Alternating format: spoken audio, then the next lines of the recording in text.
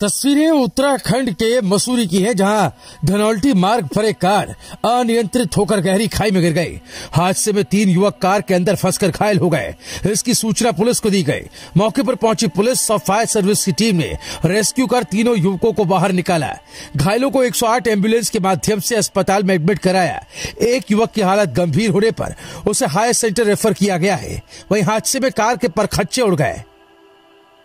मसूरी धनौल्टी मार्ग पर एक स्विफ्ट डिज़ायर यूके ज़ीरो आठ एक्स तीन छह सात सात कार अनियंत्रित होकर 500 मीटर गहरी खाई में गिर गई। घटना की सूचना मिलते ही Mussoorie police 108 ambulance, fire service मौके पर पहुँची और गहरी खाई में गिरे। तीनों युवकों को बमुश्किल रेस्क्यू कर बाहर निकाला गया। बर्फबारी होने के कारण रेस्क्यू ऑपरेशन में खासी दिक्कतों का सामना करना पड़ा। कार के दरवाजों को नुकसान पहुँचा और उसके कारण पुलिस ने दरवाजे तोड़कर युवकों को निकाला। मसूरी कोतवाल दिगपाल सिंह कोहली ने बताया कि सुबह के वक्त डीआईटी इंस्टीट्यूट देहरादून में पढ़ने वाले छात्र मसूरी में हो रही बर्फबारी को देखने के लिए धनौल्टी रोड की तरफ़ चले गए थे। अचानक मोड़ पर उनकी कार अनियंत्रित हो गई और करीब 500 मीटर गहरी खाई में जा गिरी। हादसे में कार सवार तीनों युवकों की हालत गंभीर बताई जा रही है। सबसे पहले स्थानीय लोगों ने कार गिरने की सूचना पुलिस को दी।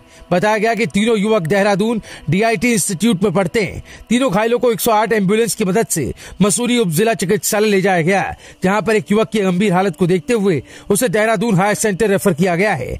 बताया गया की घटना की जाँच की जा रही है। घटना की सूचना युवकों के परिजनों और डीआईटी के मैनेजमेंट को दे दी गई है। ब्यूरो रिपोर्ट राय शुमारी